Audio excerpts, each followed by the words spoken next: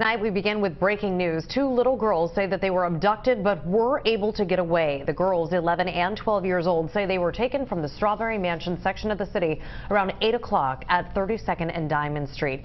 They say that they were pulled into the back of a white van. According to police, the girls had cell phones and called their families. After striking someone inside the van, the girls say that they were let go at 30th and Norris. They told police they made a disturbing discovery in the van.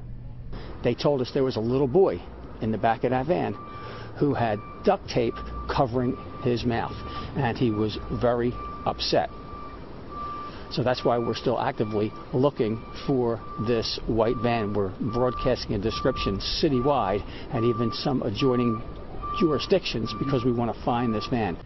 The girls are okay. Once again, police are looking for a white van. As soon as we get more information, we will bring it to you on air and online at cbsphilly.com.